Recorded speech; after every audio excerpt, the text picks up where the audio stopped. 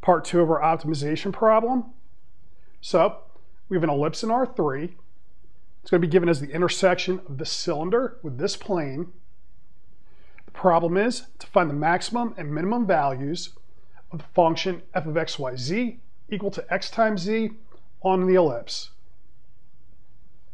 In part one, we solve the problem by parametrizing the ellipse.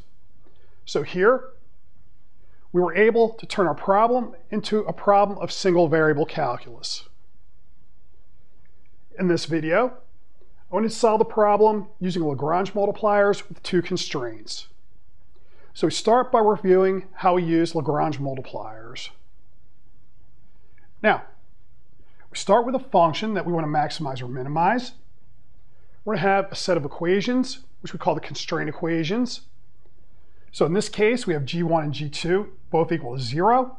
And these functions are going to describe the object that we're going to maximize or minimize our function f on. So these are going to be the equations that correspond to these equations that describe the ellipse. Then, I'm going to define a new function capital F equal to little f plus lambda g1 plus mu g2.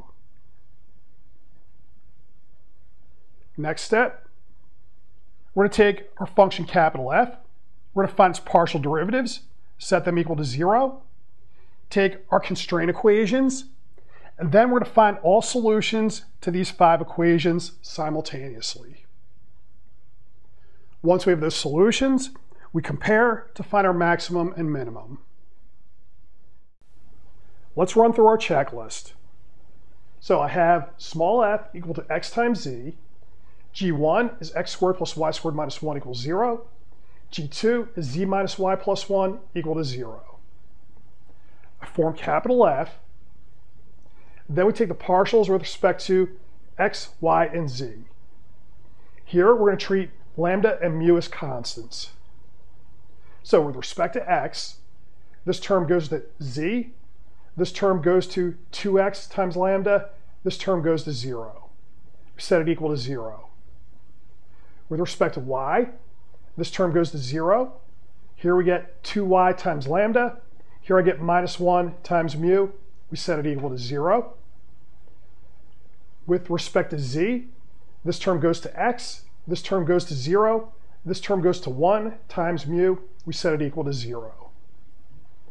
Now, we want to start by trying to eliminate mu and lambda from the equations. So, if we're going to focus on mu, we have from equation 3 that mu is equal to minus x. Then I can substitute mu into equation 2.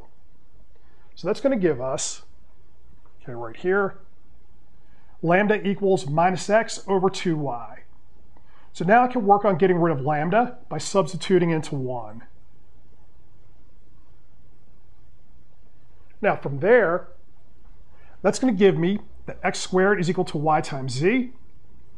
So now we want to work on our constraint equations. So we focus on G1 and try to put everything in terms of y. So what we'll do is, I'm going to replace the x squared with yz, then we're going to replace the z with y minus 1. Okay, so that's these steps here. Now, that's going to give us a quadratic in y and we solve that using the quadratic equation. We get y equal to 1 and minus a half.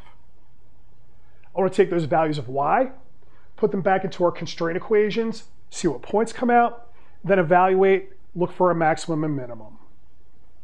So, if we have y equal to 1, then to have z is equal to 0, x squared is equal to 0, so I get the point 0, 1, 0. We take x times z, we get 0. If we let y be equal to minus a half, then we'll have z equal to minus 3 halves. We'll have x squared is equal to 3 fourths, or x is equal to plus minus square root of 3 over 2. So we get two solutions there. So we get these two points here. I solve for x times z. We get minus 3 square root of 3 over 4 and 3 square root of 3 over 4. Those are all the points that come out. So now all I have to do is compare the different x times z values. So we see here, we get our maximum, here we get our minimum, and that agrees with the result that we had in part one.